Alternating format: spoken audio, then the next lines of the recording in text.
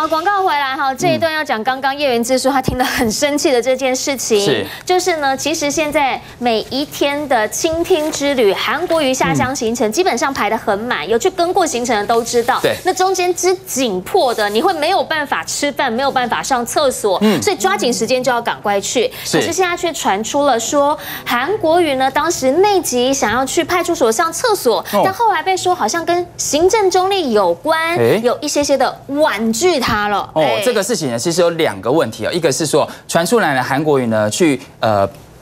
副呃警局的时候，然后有一些韩粉哦，其实是蛮喜欢他的。之外呢，还有那个副所长，其实也跟他的拍照，但是结果没想到就被要求下架照片。另外一个呢，我们来看到就是说，有关于哈、他当天哦是三十一号的时候呢，五点四十。分的时候，他到华讯公园见面会，3:40三点四十分的时候，然后他接着呢要到四点五十分的平镇后援会，他。当中想要上厕所了，那为什么呢？他们就发现说，哈，学生委员待会会讲啊，因为呢，他就绕来绕去，绕来绕去，就不到最近的这个龙岗派出所去上厕所，因为呢，他距离这个会场哦，这个这个是会场哦，这个是所谓的派出所，只有两百六十公尺而已啊，为什么就不到派出所去上厕所呢？就据传说哈，是他们这个警方有说，其实是希望要行政中立的关系就婉拒了。当然呢，桃园市警局有说法了，他说哈，婉拒啊，这个所谓的上厕所跟造势选举是无关的。嘿好，这个是警方的说法。不过我们马上要来连线的就是我们的陈学圣委员，委员现在在我们线上，委员好。大家好，大家好。好，委委员员，我们想要请教一下哈，当天的状况，因为我们知道哈，其实到了桃园这一整天，从早上十点到下午几乎五点多，对基本上是非常紧凑的行程。那当天呢，您一直跟这个韩国瑜就韩坐在同一台市长在一车上起，那你那个时候知道这个状况吗？我这次非常有感慨，这个上厕所尿尿时间竟然会延烧这么多年。因为前几天是在谈，呃，加油站我跟韩国瑜市长去加油站上厕所的事情，然后就有人讲说我在塑造神话。我只是想告诉大家说，韩国瑜跟大家一样，他也是跟大家一样在外面找加油站上厕所，但现在反而韩国瑜变得不一样，大家可以去呃派出所，可以去分局呃借厕所，可以去加油，可以加水，可以去打气，但是你就是韩国瑜不能去，变得韩国瑜跟他不一样。那当天这个情况，我都一直陪同的原因，是因为呃我们要到华勋呃公园造势之前有一点时间，那么韩国就说，那我们先去上个洗手间，那这个国外团队就带我们到最近的仁爱派出所。那进去以后，这个派出所所长去华勋公园已经去待命了，所以就由副所长在现场。那副所长碰到我们的时候也很热情，招待我们，然后进到这个呃接待室，然后我们从头到尾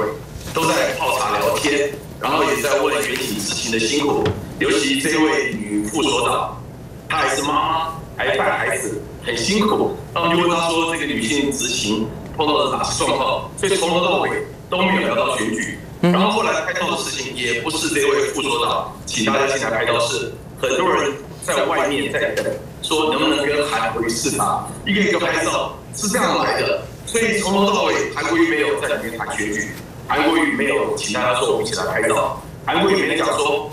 要不要谈一下动算，从头到尾我们都有知道不要增加国家的困扰。那怎么会后来变成到了下一站？呃，我们要去榆林那个平镇造厂的时候，嗯，就被拒绝了。那我当时也很奇怪，想说为什么我们不要直接就到会场去，或者到哪个地方先停一下，因为我们找到了。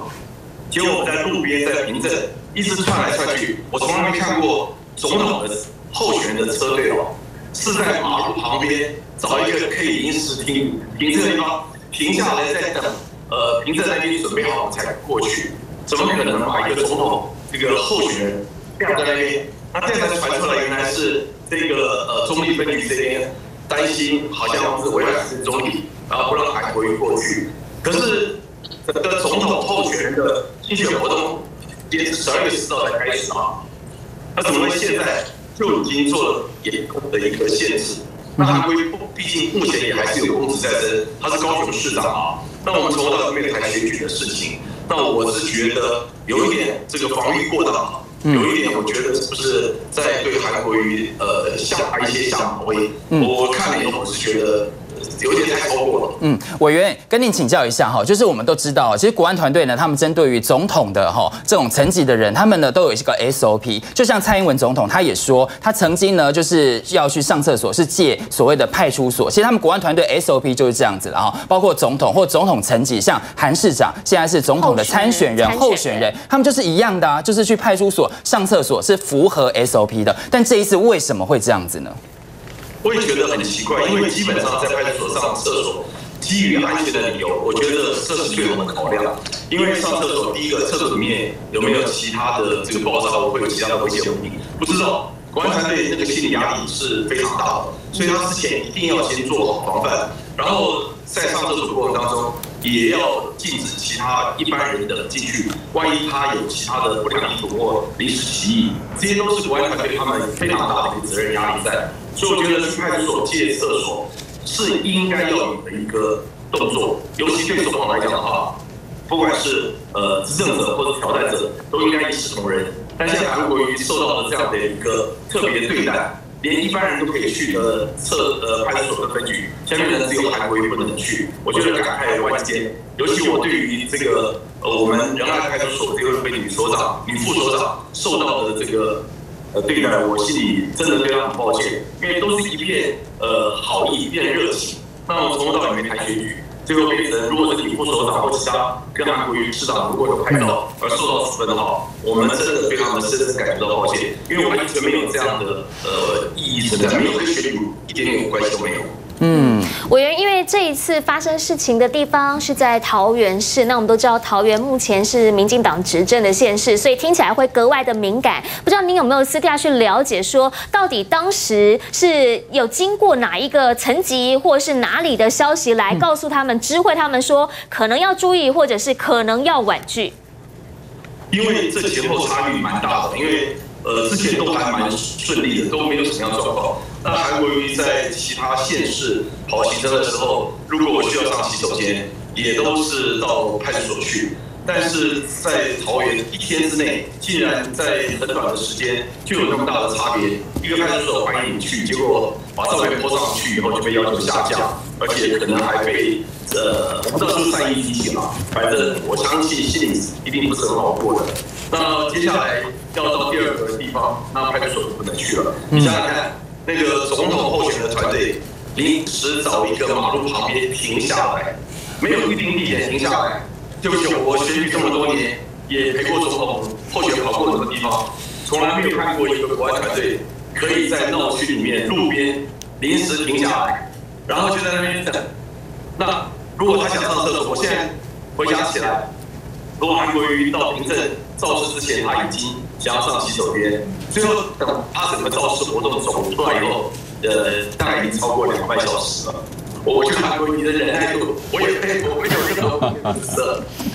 啊，好，谢谢委员啊，因为呢，最后呢，韩国瑜是憋着尿上去了后援会哈，谢谢委员跟我们的连线，我们来还原整个事件好了哈，这是来看到是十月三十一号，他到桃园的时候，十点呢到叶林，结果经过加油站借厕所，那陈学胜他有说了这一段，就是说他其实跟我们一般人一样，结果就被黑哈，他也说哈，这个到加油站拿被攻读生吓了一跳，好，这个是第一个借厕所的事情，结果呢到两点四十五分的时候，来到巴德的这个地方见。面会啊，结果呢，到好桃园的一个警察局戒厕所，因为副所长呢跟韩国有合照而 po 网，就是刚刚他讲的副所长，但是呢传出来被要求来撤换照片。桃园市警局的公关跟我们说，哈，这个呢来他说哈。呃，这有关于女副所长撤下照片呢，并没有高层来施压啦，而且还说哈是劝说之后才下架，是劝说。重点是要避免纠纷，有提醒他说哦，大家反正行政中立嘛，那既然是有可能有问题，不然就热心的劝说说你下架，避免纠纷。但是我们要继继续问啊，那请问一下，如果说呢跟郑文灿合照，哎，他说 OK 啊，因为是桃园市长。那如果跟总统蔡英文合照，他也说 OK 啊，因为哈是总统。但是呢。总统参选人韩国瑜他就说：“哎呀，要关切一下。”高雄市长可能也不 OK 啊，因为他现在也是高雄市长。只要是韩国应该都不 OK 了哈。不过他没有说，没有没有没有没有，是劝说劝说。好，那接着呢，来到了三点四十分的时候，韩国瑜到华勋公园要跟乡亲见面会啊，结果。结束之后要来到平镇后援会，中间是有一点空档，他想要上厕所，但是没想到上厕所的时候就据传警局借厕所遭到婉拒了。然后呢，他们就说哈，其实呼吁啊，警察要保持行政中立啊，生理需求借用厕所都是一视同仁，没有差别待遇。不过最后韩国瑜据说啦，就真的是忍着三级上台。